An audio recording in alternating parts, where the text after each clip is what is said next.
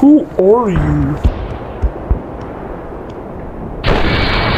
If you're wondering who I am, it's me, Skibidi Animations. And I don't know why I'm here for some reason. And you have to go there right now.